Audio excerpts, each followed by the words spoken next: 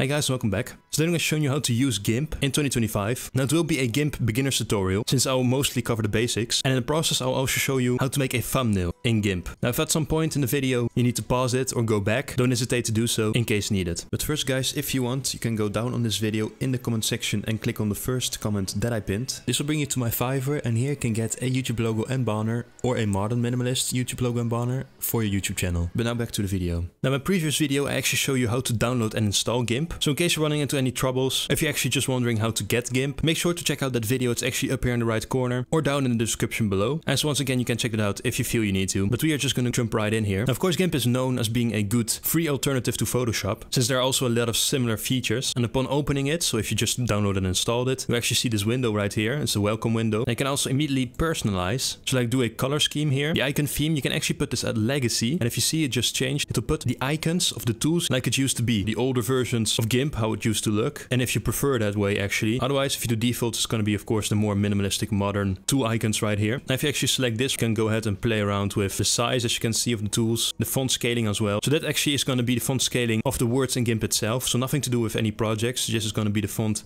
of these words for example. So it's going to make it bigger or smaller if you do this. This is generally just going to be the UI of GIMP before opening any projects. But of course you don't want that. You can just uncheck this. System language is going to be the language you want GIMP to be in. By default it's on English, but you can choose another one of course. You can also go to contribute and actually report any bugs as well if needed. In release notes you see the latest, which by the way the time of this recording is GIMP 3.0.6. I'm gonna see some new features, some bugs that might have been fixed. And here in create of course, you can go ahead and open already existing one or create a new one. But I'm just gonna do close here, it's actually optional to use that window. But it is one you'll probably get when opening this newer version of GIMP.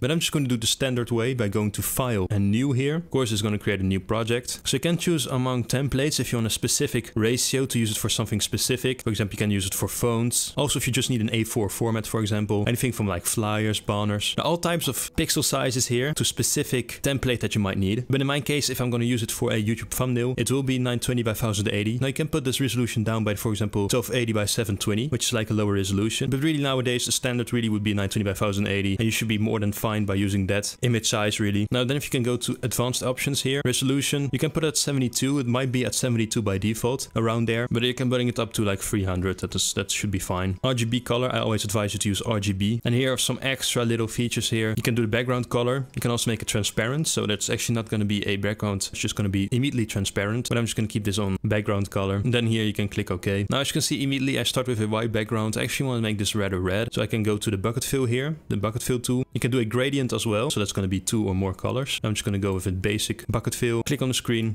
and it's going to make it this red right here, which is good for me at the moment. And I can just go back to my move tool here, which as you might have guessed, just moves anything you really click upon.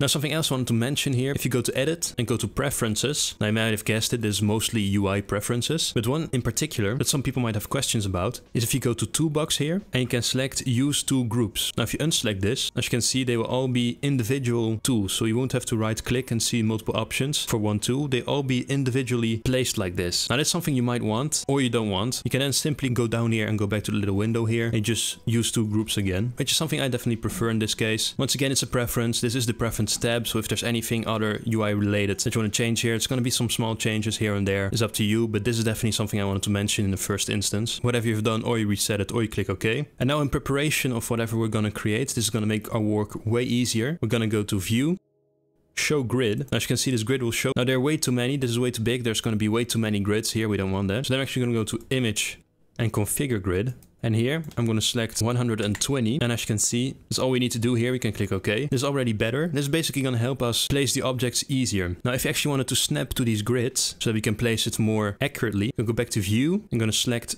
snap to grid. So now whenever I have an image, it will actually snap to those lines here if needed. Okay, we're almost done here. Just want to go to image and select guides. I'm going to do new guide by percent. So it's going to be horizontal and 50 here. You just want to click OK. You can see it create this horizontal line here going through the middle. Then if you go back to image again, guides, and new guide by percent. This time I'm going to do vertical and keep this on 50 as well and click OK. And as you can see, now we know where the middle is. This is actually going to make the work way easier for us because we can actually place right here, snap to grid. We know where the middle is. Just by doing these small preparations. to make the work that we're actually going to do way easier. And if you want to, by the way, save this by default as a layout, so that every time you open a thumbnail or do anything else, you have this as a layout. You can go ahead and save this already, of course, and do save as here. You can, of course, save this like, you can go ahead up here and call this default layout or just layout and just save it right here. And so the next time you only have to open this project file, that's all you have to do. But I will also go, of course, in depth towards the end of the video on how to actually save projects and also as an image, for example, a JPG image. For now, of course, we're going to import our first image, which there will be two ways to do that. The default way will be to go to File, and open as layers. And so in a search where your image is, now of course here on the left, if for example it's going to be in pictures, you go to pictures, otherwise you might go to another folder, just wherever you have saved that image in question. You can also see the path up here in case. What you can actually do then is either double click on this image or you click on open. And so the second way to import an image in GIMP is if you go to for example your file explorer here and actually take the image in question you want and just simply drag it on here. And as you can see, it will import as well. So those are just two ways to do it. It's up to you what you want to do. Now of course this image, first of all, is way too big. We don't want it to be that big. So we can actually go ahead and do then is go to the scale tool, click on it, and you can right click on it, and you have all these options. So first of all, we're going to do scale. Scale is just simply, as you can see, change the scale of the image. Now also make sure that this right here is selected. This little chain here, if I unselect that, it can become any form you want. And you don't want that because it's not going to be accurate. You want it to keep its ratio. So what you basically do is make sure that, that at all times this right here is selected and make sure that these are the same values. And there you go. You can just change it like this. So it will remain, it will change in size, but it will be the same ratio and it wouldn't be deformed in any way. You can, for example, make it this big. Now, if you want to place it, you can take it in the middle here and just drag it wherever you want it to be. As you can see, what's nice, it actually snaps to grids. As you see, if I do this, as we saw earlier, so I can simply put it in the middle here, a bit above. There you go. They can just readjust it or click scale to actually keep the size. And so if I right click back up here, of course, we also have rotate or shift R, which kind of speaks for itself, of course. You can reset it. Shear is just going to take a bit of the top or a bit of the sides. Once again, here are the key binds, by the way. If you do, for example, Shift plus H or Shift plus F, flip here, as you can see, there you go even perspective and a 3D transform. This makes it more 3D, the other one is more of a perspective. They're a bit different of course, but that's what you can do with all these tools here. And there's a big variety of things you can do to actually change the image in question. If you want to maybe zoom in a little bit, there's multiple ways to do it. You can of course use the zoom tool. You can just use Z as well. As you can see, you can just click anywhere and we'll zoom in. Or you go down here and as you can see there's a percentage here that you can change. For example I do 70. It's zoomed in a bit but of course that's manual and it goes a bit slower than if you just use Z and select it yourself. I'm just gonna keep this at like 67 right here. This just zooms the whole project, not a specific image, just the whole project. Now as you might have noticed, I've put this a little bit up here, that our image of course has a white background, so it's not PNG, so it's not transparent, it actually has a white background. Now we don't want that, and there's actually going to be multiple ways. The first being the lasso tool here, so the free select tool, right click, you have the free select. Now if I do that, as you can see, it's going to start making points where I actually want them to be placed, and then at the end you have to connect the dots and to create a selection of course. Now if you want to deselect, you can actually go up here to the select. I do to select bar, you can do none. You can also do invert, so it's going to be the exact opposite, so every everything will be selected except for this area. And then some more detailed options right here. But you can also of course do Shift Control A to deselect as a keybind, but you're just going to do it like this. And then you also have the fuzzy select tool. This will be the magic wand in Photoshop as an equivalent. You right click and of course make sure it's on fuzzy select. And you can actually select the image wherever you want. And it's automatically going to choose the area. Now sometimes it might of course forget places like for example the nose here. Or if it only does the nose, what you want to do is hold Shift on your keyboard and you click right here. So you can actually select both at the same time. And so now we'll be easily able, for example, cut out the logo here. That's definitely a fast way to do it. Now it might not be perfect. Sometimes there might be some white here on the edges right here from the background. Now in case if you want to avoid that, and as you can see it didn't also take the paintbrush here. But if you want to avoid that, you can go back to select and actually do shrink. Now this is already a bit more advanced, but basically what you do, you do for example by one or two pixels. You click OK and it will actually shrink here and take off like one or two pixels on the edges, which will avoid to have, for example, pieces of the white background. So that could help. So you can just go ahead and deselect this again or Shift Control A. So definitely multiple ways to do it. If you use, for example, the select tool and just do one dot by dot as we saw earlier, that I think is going to be the best way. But we right here I'm just going to select, make sure this layer is selected. By the way, your layers are going to be right here. And just right click here and do delete layers. That will delete the layer in question.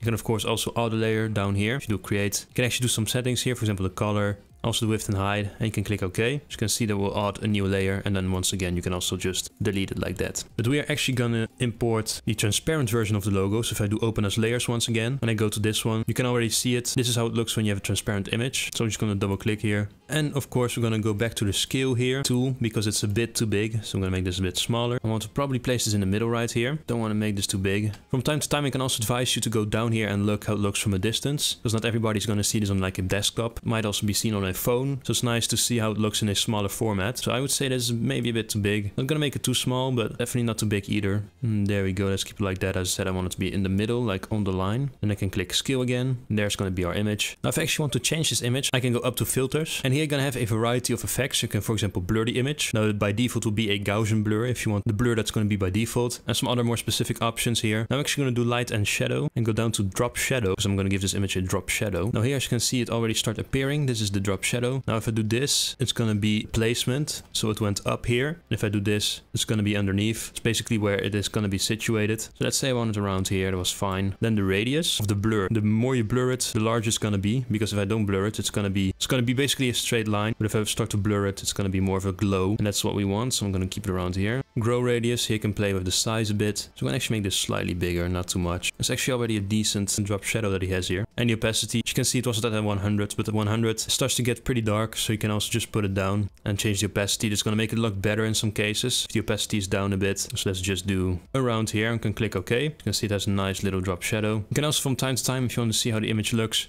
go back to view and do show guides, unselect show grid. And lastly also unselect show layer boundary. And as you can see then we can actually see how the image is look. And of course then just select these again if you want to go back to the grid that is going to help us.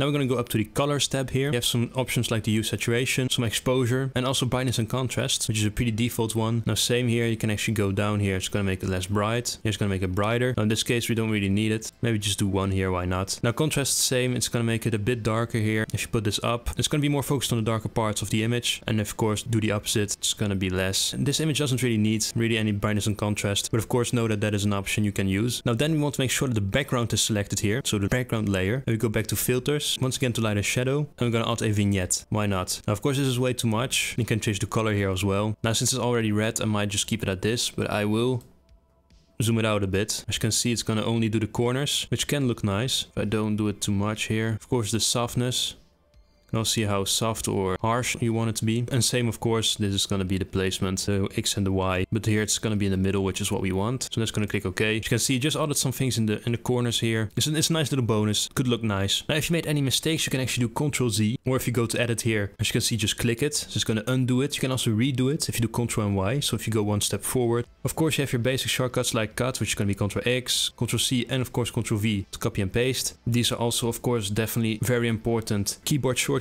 in case you didn't didn't know them. So you can go to edit to see basic editing shortcuts. Of course, clear is going to be delete. You can often just click delete on your keyboard.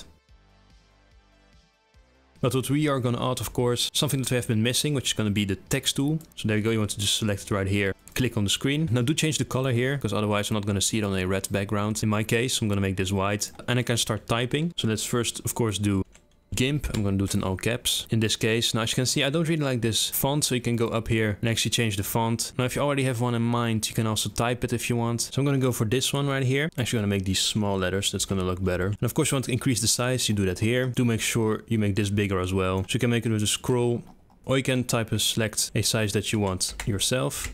So I might actually do around 160. There we go. I'm gonna use a selection tool, just gonna place this. Once again in the middle, fortunately we have this grid, because I know now that this right here is gonna be the middle and it will also snap to it. Now actually I'm gonna put this a little bit higher because I want to put beginner's tutorial underneath as well. So if I take the logo here, so just make sure that in layers you select it. Then you also want to hold Shift and you just select GIMP, in this case the text as well. There used to be an option that you have a little chain here and that you can select both images and you could move them together, but that has since changed. So if you have GIMP free or over, this is gonna be be different. And so you want to select first of all, so of course I'm going to do the text here and the GIMP logo. So hold Shift and you select both. And then up here, I'm going to make sure of course the selection tool is selected as well. You want to do move the selected layers. So you click on that one and then as you can see, you can move them together. So it's very important. That's actually been a change that has been done. And if you can use the arrows as well, here as you can see, if I use the arrows, they're actually moving upwards as well. So let's maybe say around here, I might change a little bit later. So I'm going to place this above here actually, even though they don't overlay each other. I'm actually to add a new text here, which is to be the last text, which is just to say beginners. Make this bigger. Tutorial. There you go. And just like before, we are to make this a bit bigger and change the font as well. You can also do that up here, by the way, if the font, if you're struggling.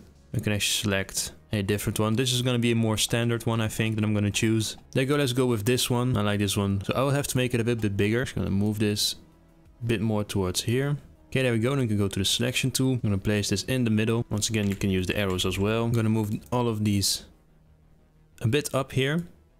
And I'll add a new layer down here. I'm gonna click OK. And I'm gonna go over the brush tool. You can also do pencil or an airbrush, but I'm just gonna do a paintbrush. And here you have to select the color. Gonna make it a bit brighter here. You can select different things, select different hardnesses, whatever you want. I'm just gonna do this. And you can also do the size, for example.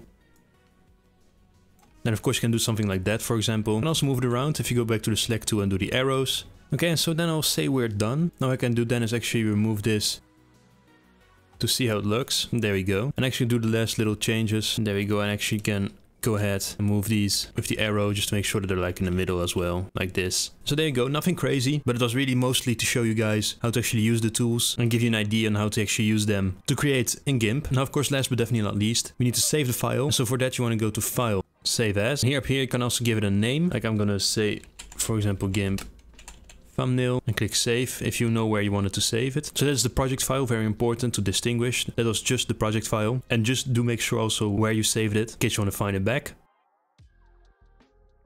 And then if you once again go to file and do export as, once again you want to make sure where you save it. As you can see it's also remembered and it's called GIMP thumbnail. Now as you can see here it's .png, but you can actually change that if you click on select file type by extension. And here you can actually go ahead and select another one. For example JPG image, which is a very standard one. And so if you go down you also have the PNG option of course, which is for transparent images, but it's also of course for regular images and that has a high resolution. PNG could actually sometimes be better in cases. But I'm going to keep it at JPG image here. And if I know where I want it to be saved, the image this time, not the project file, but the image, I can click export. Now this export window will show up. I'm going to do quality 100% of course, on the best quality. Sometimes you might have to bring this down because the file size might be big, but in most cases I'm sure you can just put this quite high to just 100%. You can leave this as well. There's going to be more specific options here. And in the future, if you have made some little changes, you can also do save settings. So it will remember these settings every time you export. But I'm just going to do export here. And after that, if you save both, you can of course close GIMP. And if I then go to the file where I actually saved it, as you can see here, we have the project file and here we have the actual JPG image. So if I click on it, as you can see here it is and make it bigger.